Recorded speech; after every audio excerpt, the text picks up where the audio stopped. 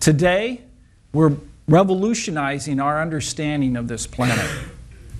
Our rovers are finding that there's a lot more humidity in the air than we ever imagined. As we ingest the soils, they're moist, they're hydrated, full of water.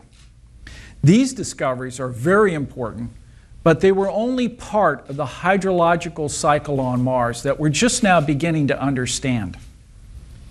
What we're going to announce today is that Mars is not the dry, arid planet that we thought of in the past.